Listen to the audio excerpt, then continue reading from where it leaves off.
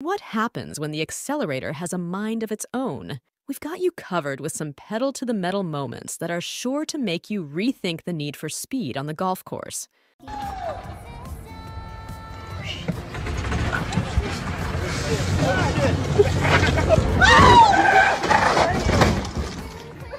Oh my god!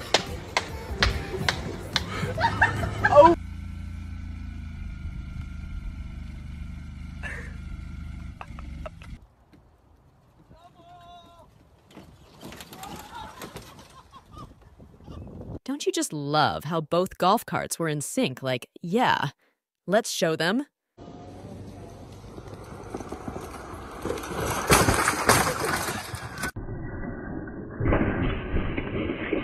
One minute you're golfing, the next minute you're Superman. It all happens so fast.